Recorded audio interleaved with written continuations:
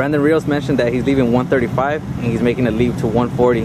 A fight between Amir Khan and Brandon Rios, is that a fight that you'd like to I would have liked to seen it when, when Amir Khan was champion, but why would we go over Amir, after Amir Khan? Why not go after champions? You know, Peterson's the champion now, so why not fight Peterson? I would, I, I would rather see that. Based on the fight you saw on Saturday between Peterson and Amir Khan, what do you think would happen if Brandon Rios got in the ring with Amir Khan? Brandon knocks Amir Khan out, and, and, and, and I'm not saying I'm not picking around because he's gonna run for he's gonna run for his life for five or six rounds. But then when Brandon catches him, Brandon knocks his ass out. I'll tell you that for sure.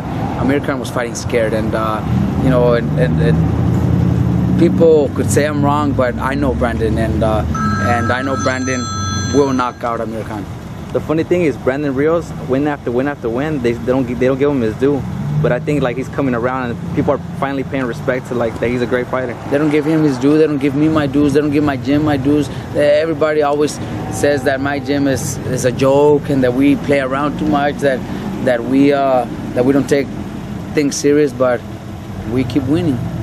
My fighters don't lose. Uh, the only fight I lost was against Margarito, and uh, he wasn't given the chance to to do to, to fight continue. those last three rounds where would have been his best rounds.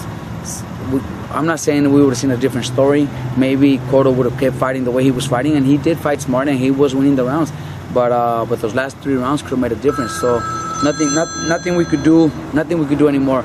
All I know is that all my other guys keep winning. Nonito Donaire is looking very good. Mikey Garcia is looking awesome also. Brandon Rios is keep keeps beating up on everybody they put in front of him. The last 11 points knocked What out. else do they need? Do I just teach my fighters to fight one way?